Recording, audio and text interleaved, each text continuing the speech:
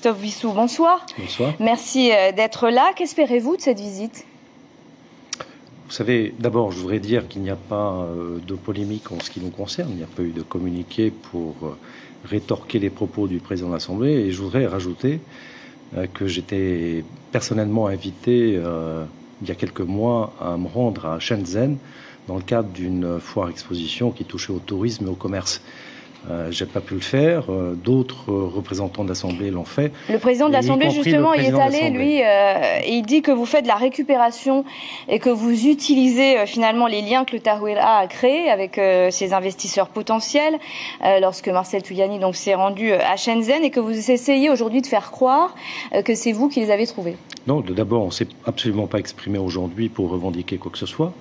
Et je voudrais dire que lorsque le président de l'Assemblée euh, se rend en Chine, euh, où il est invité au même titre que le ministre du Tourisme, je ne vois pas en quoi le Tarouera a à voir euh, dans cette affaire. Alors si lui, il estime qu'au travers de sa fonction de président de l'Assemblée, il représente le Tarouera Huilatila, il y a un problème quelque part.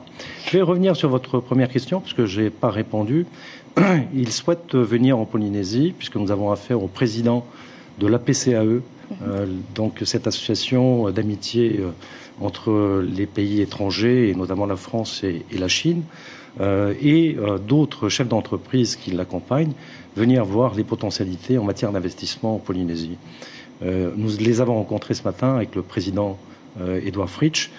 ils se sont exprimés pour parler à la fois de tourisme, d'aérien, euh, et euh, leur souhait est de se rendre dans les îles, notamment à Montréal, pour voir euh, s'il y a des choses à faire sur place. Alors vous dites qu'ils ont parlé du tourisme. Est-ce que cela pourrait relancer le projet Mahana Beach? D'abord, où en êtes-vous dans ce projet? Parce qu'on a le, sentiment qu'il est dans un tiroir, mort et enterré. Non, il n'est pas, il pas dans un tiroir et il n'a pas besoin d'être relancé.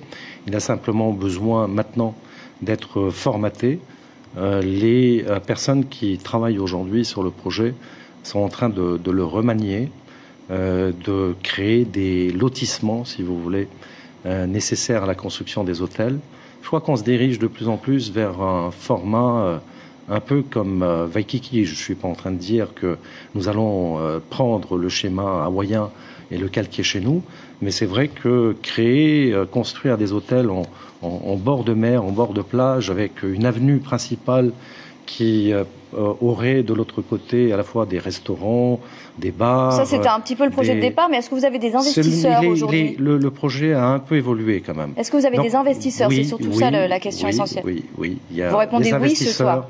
Il y a des investisseurs à la fois locaux et des investisseurs euh, étrangers qui se préparent à nous présenter le projet, on espère le plus rapidement possible. Jean-Christophe Wissou, merci beaucoup d'avoir accepté notre invitation ce soir.